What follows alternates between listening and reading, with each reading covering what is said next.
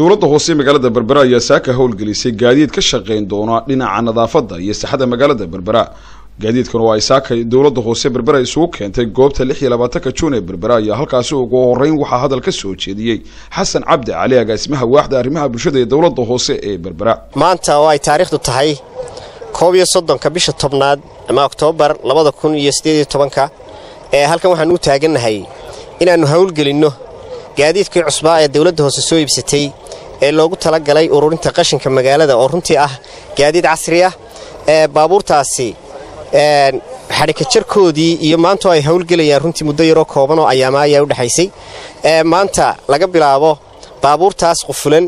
ayaa ka shaqayn doonta insha allahu tacaala magaalada oo qashinka sidii horeba uga ururin jirtay baabuurta kale uga ururin jirtay uga ururinaysa. Waa baabuur ka duwan baabuurtii hore runtii oo marka loo eego xagga sixada waa baabuur qufulan wax uroo ka soo baxaya iyo wax kaloo maaragtay bulshadii dhibaya ma jiraan. Sidoo kalena waa baabuur ka qaad weyn baabuurtii hore ee qashinka qaadi jirtay oo gaadhi kastaa wuxuu la tan yahay saddex lowdh ama saddex qaad oo baabuurtii hore ah. Runtii waxaan rajaynaynaa marka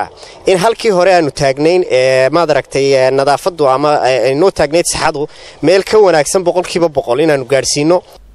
xogayaha fulinta dowladda hoose cabdikariim aadan siciid oo isna halkaasi ka hadlay ayaa sheegay inay dowlad hoos ahaan ay tayeynayaan sidii ay magaalada berbera u noqon lahayd. Magaalo aada u qurxoon oo iyadu ka beri ah qashin iyo nadaafad darro. Isagoo sidoo kalena ballan qaaday inay magaalada berbera sanadada soo socda ay noqon doonto mid la jaan qaadi doonta magaalooyinka ku yaalla xeebaha geeska afrika.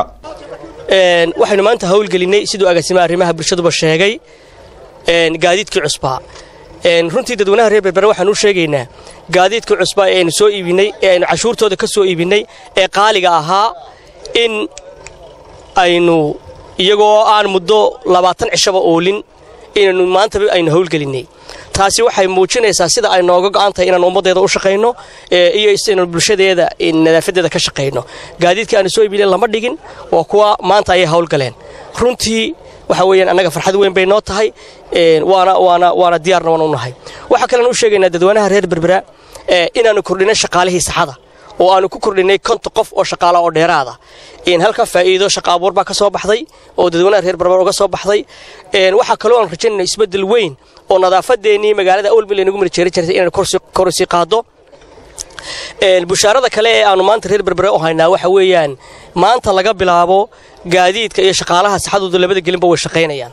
Taa micnaheed waxa weeyaan inaannu labanlaabnay marka shaqaalaha dheeriga ah aanu keenay laga yimaado marka gaadiidka casriga ah ee qaadka weyn leh ee qufulan ee aanu keenay laga yimaado waxaa kaloo muuqata siday nooga go'an tahay inaannu saxada kor u qaadno waana labanlaabnay shaqadii qabanayey reer berbera iyo bulshada aanu haynay